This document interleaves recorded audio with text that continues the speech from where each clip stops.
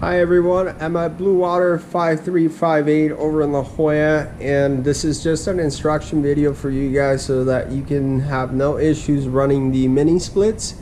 So we have the remote right here, feel free to grab and take it off the wall and just simply press the power button which is this orange one and point it directly at it. And you can adjust the temperature as you like we normally recommend setting it no lower than 68 for mini splits. And then if you want to uh, have the fan a little bit more powerful, here's the fan button so you can control it. So we're gonna have it on full blast. That way you get a nice, uh, nice flow here.